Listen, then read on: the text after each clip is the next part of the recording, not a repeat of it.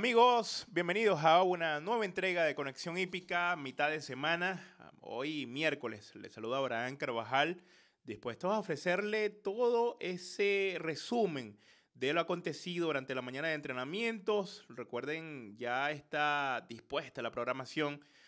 Tendremos actividad este jueves, es decir, mañana, con un total de siete carreras a disputarse al final de esta entrega ofreceremos algunas partidas finales de posibles contendientes por la victoria en la próxima programación. Iniciamos la secuencia.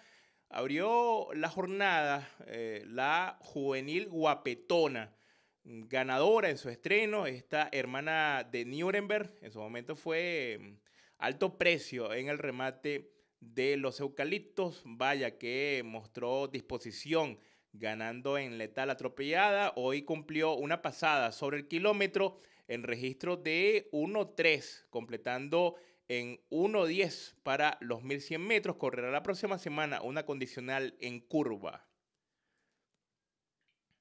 Otro ejemplar que genera interés, expectativa, es este castaño de origen argentino, Super Turco, el flamante ganador del Gran Premio Nacional este ejemplar defensor de los colores del Yeset lo hizo de mantenimiento, un estiramiento sobre un trayecto de 1300 metros. Super Turco posiblemente sea parte del Enrique Meich en una confrontación ante los mayores. Vaya que lo hizo a voluntad con el jinete que lo guió en su mayor impacto, Renzo Rojas. Este entrenado por Juan Suárez Villarruel, se movió a placer. Allí están las imágenes ya desembocando en la recta de las emociones. Venía empleándose en registro de un minuto prácticamente los primeros 900 metros, ya en la recta final, su jinete sencillamente lo acompaña en su accionar. 1.14 y 1.26 los 1300 metros, rematando en 12, siempre dispuesto este castaño que mm, guió en su apronte bastante cómodo Renzo Rojas.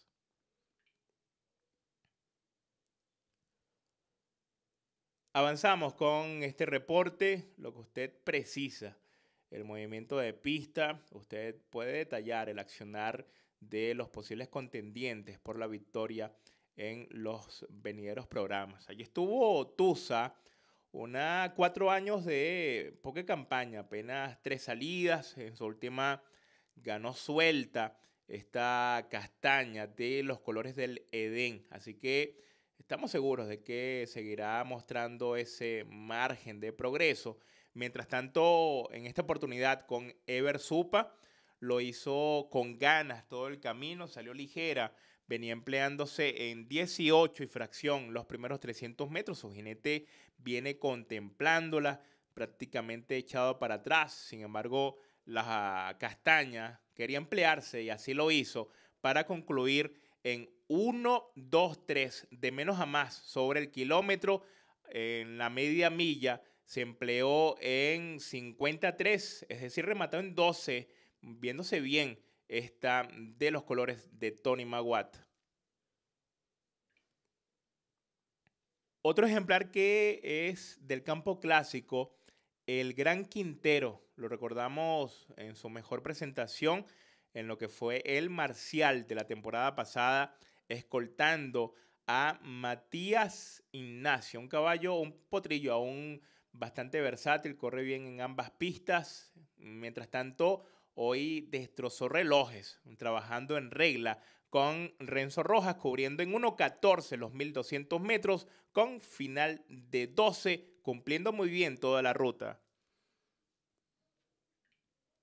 Varios ejemplares de la caballeriza del mm, el Castillo se movieron en esta jornada de entrenamientos, ejemplares del campo clásico. Tal es el caso de Carrillo, por cierto, ganador del Marcial en su momento de juvenil, ahora corriendo con efectividad en los lotes del handicap. Este Cariblanca, hijo de Forty Tails, estuvo bastante fácil con Rito Almanza en la silla, quien lo dejó emplearse de desahogo bastante fácil. Allí lo vemos cubrir en 44 y 49-4 de menos a más, rematando de subida. Bien está listado por Arturo Morales.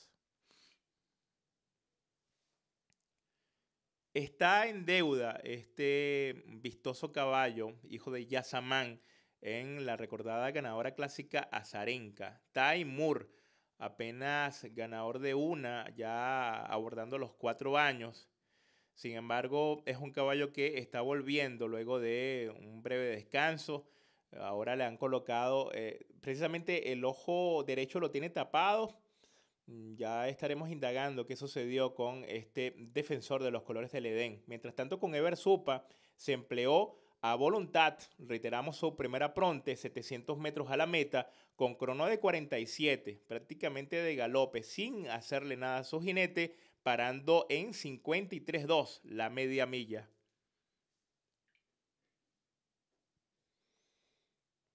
Ahora vamos con otra alistada por Juan Suárez Villarruel, Candor.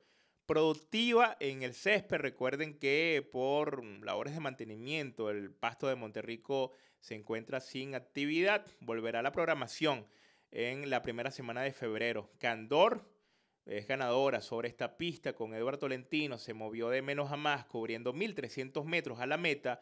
1.24 fue su registro, rematando en 12.1. En referencia a la programación sobre el pasto, mm, muchos propietarios, entrenadores están esperando la reincorporación de carreras en este trazado. Tal es el caso de Perfect to Me, la alazana del, Elimar, que viene de ganar al galope en bonito estilo en su condicional segundo triunfo para esta egresada de la Cayana.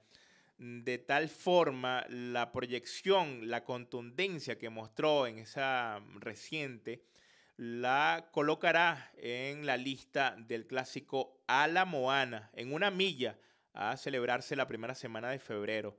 Hoy una yegua que generalmente no lo hace de manera sobresaliente en las mañanas, sencillamente se limitó a desplazarse sobre un trayecto de mil metros, el kilómetro a la meta, con Víctor Salazar moviéndose en 1.3, rematando en 13, parando en 1.10.1. Es bastante numerosa la caballada del Yeset todas las jornadas, particularmente los días martes y miércoles, que son las jornadas que acostumbra a trabajar en firme el preparador Juan Suárez Villarruel a sus ejemplares. Ahí estuvo esta mm, juvenil Doña Claire, que tiene cualquier cantidad de ejercicios. Luego de ganar su primera condicional, apenas dos salidas, un placer en su estreno, luego confirmó su talento, su evolución al acudir a la curva y responder en una victoria mm, bastante, bastante sólida, en buen registro, de 1.27 y fracción sobre los 1.400 metros. Esta Doña Claire hoy lo hizo en un tranco parejo, venía empleándose en 59.2 los primeros 900 metros. El Renzo Rojas en la silla de esta argentina, hija de Orpen. Ahí viene moviéndose metros finales, cumpliendo en 1.12 y 1.24 sólido su remate 12 a la meta, parando en 1.32. Es prospecto a seguir esta del Yeset. Esperanza Blanca. Ya habíamos anunciado que varios ejemplares de la caballeriza del castillo se movieron en esta jornada hoy miércoles. Ahí estuvo la norteamericana Esperanza Blanca, que ha bajado un tanto su producción en sus recientes, en el Gras. No obstante, es ganadora clásica en par de ocasiones. Está a la sana cargo de mm, Arturo Morales. Precisamente eh, Carlos Trujillo fue el encargado de guiarla. Entendemos que está en planes para el Alamoana en una milla sobre el Gras en la primera semana de febrero. Hoy lo hizo estirándose bastante tranquila, su jinete la trajo totalmente relajada y así se empleó en 53 para la media milla sin tocarla. Carlos Trujillo se limitó a acompañarla en su desplazamiento, concluyendo en 1-2-3 el kilómetro, bajando, rematando en 12 a la meta. Reveladora la actuación de Casachot en lo que fue el Gran Premio Nacional. Se metió tercero este, a un perdedor, hijo de Bello Plenty, que defiende los colores del El Pope. Caballo que ha sido bastante rendidor, no obstante aún no, no rompe la condicional de perdedores, pero estamos convencidos de que al salir mm, será temible, terrible, difícil de derrotarlo en su llamado en caso de que corra la mm, condicional de perdedores, pero también puede entrar en planes debido a su última mm, presentación en el Gran Premio Nacional, alcanzando el tercero detrás de Super Turco, que está en planes a lo que será el Enrique Meich. Veremos qué deciden sus conexiones con el retorno de la programación sobre el Gras. Hoy Casa Shot con Mariano Arenas lo hizo de estiramiento, un desahogo a completa voluntad. Se desplazó en 1.83 el kilómetro. Allí viene estirándose a la meta sin ser requerido por su jinete. Se movió en 1.21 los 1200 metros, rematando en 12.2. Otra de la caballeriza del Yeset, Viveza Quirioya. Algunas actuaciones, no obstante, ha mostrado poco o nada. Esta mm, corredora está tres años de origen argentino que corre para el Yeset, entrenamiento de Juan Suárez Villarruel. Sin embargo, en su apronte de esta mañana mostró progresos, ya que su jinete Jesús Motabán la trajo fácil a un paso parejo, sostenido. Allí la vemos moverse ya en los últimos 500 metros, desembocando en la recta final. Venía empleándose en tiempo de 37.4 los primeros 600 metros. Ya ingresa tierra derecha, viveza criolla. Así que atentos, ya que estamos mm, alertando de que mm, su apronte de esta mañana fue realmente sólido. Allí en 1.32 el kilómetro, rematando en 12.1, parando en 1.10 los 1100 metros. Otro que está listo, Honey Boom, argentino, de El viene de estar allí. Placé en su condicional, otro ejemplar que eh, lo veremos anotado cuando, eh, estén, cuando tengamos carreras sobre el gras. Hoy cumplió a voluntad estiramiento, mantenimiento, 1.25.3, los 1.300 metros. Mejoró del cielo a la tierra. Don Papito, un alazán vistoso de la caballeriza del Yeset, primera cría de Vida Mía, una corredora clásica. Don Papito, apenas con dos salidas, sido el juvenil protagónico, sin embargo, le han colocado unas anteojeras y el caballo se ha visto concentrado, al menos en las mañanas. Así lo hizo cumpliendo de menos a más con Carlos Javier Herrera, quien trajo, recibió instrucciones precisas de buscar ese remate efectivo y el Alazán cumplió a cabalidad. Ya en la recta final parciales, viene empleándose en 51 los primeros 800 metros, ya recta decisiva, 1-3 recibiendo el castigo y concluyendo en 1-15 con remate de 11-4, viéndose dispuesto todo el camino. Siempre fue un juvenil precoz que mostraba mucho en las mañanas. Papa Chocho, Inclusive en la caballeriza del Yeset lo proyectaban como una de sus mejores cartas en la temporada que recién finalizó. Papa Chocho, hijo de Iqueña, de lujoso origen, este castaño oscuro.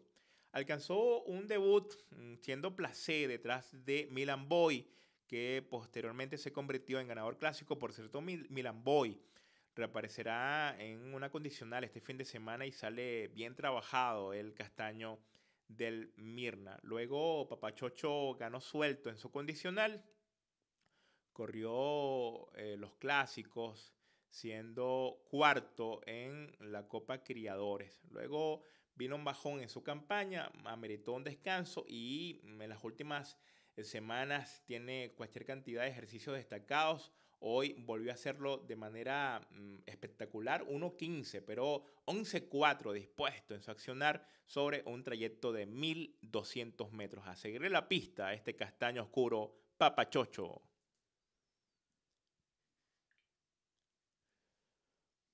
Juveniles que se alistan a el debut. Una de estas piezas es Muñeco Precioso un alazán tres años de la caballeriza del Dani Michi, es de El Aras Rancho Fátima, hijo de una matrona eficiente, Loreta, este muñeco precioso. Cumplió en una pasada 700 más 200, rematando de su vida, con crono final de 57, rematando en 12-2. Cerrando la jornada, una pareja a cargo de Juan Suárez Villarruel. Son juveniles de el Stud Elimar. Precisamente el adentro es un norteamericano. Su nombre Golden Jet. Entendemos que hará su estreno la próxima semana. Lo ha hecho de manera aceptable. Y el de afuera ya es un cuatro años, Enterprise. Estaba inscrito para correr esta semana. Posiblemente será retirado ya que quedó para la reunión de este lunes y hoy aprontó sobre un trayecto de mil metros mm, adentro. Golden Jet, el potrillo, es claramente superior. Empieza a estirar diferencias sobre Enterprise. Mm, Golden Jet con Víctor Salazar en la silla. Registro de 1-3 con remate de 12-4, poco más de 4 largos sobre su pareja. Ahora vamos de inmediato con lo que serán algunos ejemplares que verán acción en la jornada de este jueves. Algunos reaparecen, como es el caso de Balcázar, al que lo vimos ganar hace año y medio el selecto sobre el, el caballo del plebeyo que viene accionando y estuvo también Hemingway, Doctor Chivago adentro. Es ganador clásico este mm, ejemplar del Edén. Uno de sus últimos aprontes, un caballo que, insistimos, tiene año y medio sin correr, fue curado de sus bajos, pero sale con cualquier cantidad de ejercicios, lo ha hecho de manera sobresaliente. Es cierto que ejemplares como Ferroviario están de turno eh, en una pista de arena, pero este caballo, aunque viene de ganar en el césped, en el campo selectivo, lo hace de las mil maravillas sobre la arena de Monterrico. De su vida y lo vemos moverse a voluntad, su jinete parado en la silla, con crono de 48 para la media milla, sin tocarlo su jinete. Y mm, confirmó estado desde la gatera lo que le hacía falta a este de Tony Maguat, el tordillo de adentro, con Víctor Fernández. Sencillamente fue a darle intención en el primer salto, luego se lo trajo bastante fácil, dominando con varios largos de diferencia Arsénico que reaparece en esta programación y atrás queda la juvenil Llorena a más de 5 o 6 largos. 24-3 su registro desde la gatera. Sale a ganar Balcázar en la primera de la jornada.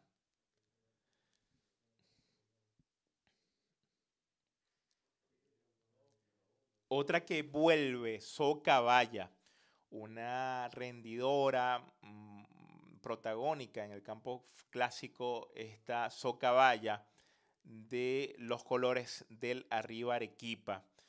Su primera, eh, su primera etapa fue bastante, bastante productiva, de hecho alcanzó campaña de 4-3, incluyendo victoria en el, clásico Reina Isabel, en un recorrido de una milla. Luego se desdibujó un tanto en el pasto, buscando ese camino hacia el Pamplona. Y cuando regresó a la arena, inclusive llegó a ganarse a varios machos siendo escolta de Iron Kona en el Leoncio Prado. Mm, en cuanto a sus ejercicios por demás destacados. Tiene pasadas de 49, de 1.2, de 1.15 sobre los 1200 metros. Su fuerza, su contundencia en, el, en la pista de arena es por demás evidente. Una de sus últimas victorias, allí la vemos desplazarse con autoridad, ganándole de galope a Isadora Duncan en fabuloso registro. Sale muy bien esta de Augusto Olivares. Otra que ganó de manera convincente, corre ya mirando las apuestas de la cuádruple en la quinta de la jornada. Recuerden, este jueves tendremos siete carreras. Allí súper estrellita. Ganó de abuso en su reaparecida en registro de 58 para los mil metros sobre la recta. Esta hija de Orpen corre y corre duro, la entrenada por Juan Suárez Villarruel. Es cierto viene de la de perdedores, ahora tendrá un filtro de ganadores de una, donde habrá evidentemente mayor calidad, mayor presión, pero la manera como ha trabajado en las mañanas esta señora estrellita em, da claros indicios de que se trata de un prospecto, una juvenil que tienen altas esperanzas en cuanto a lo que pueda resultar esta temporada 2022. Uno, su apronte, de hecho, de la semana pasada, hace seis días, fue notable, tanto que Carlos Javier Herrera quedó maravillado por la fuerza, por la contundencia, el paso demoledor que trajo toda la ruta. Su jinete traía a esta cariblanca mm, relajada, pero marcó fuerte, 1-8-3 los 1100 metros y concluyó a la meta en registro de 1.24. Tiempo de carrera, son un trayecto de 1300 metros, rematando en 12.1, respondiendo a cabalidad y evidenciando que será difícil de derrotar. En esta carrera, mm, por cierto, hay una potranca que mejoró del cielo a la tierra. Desde el partidor es Saura la de adentro, que ganó su partida por varios largos en registro de 24-1 sobre Maritrini, puede completar las jugadas exactas, trifectas, llamada a presentarse en el dinero. Hasta aquí nuestra entrega. Recuerden carreras este jueves. Retornaremos ya con la programación de lo que será el espectáculo este sábado. Una feliz noche para todos.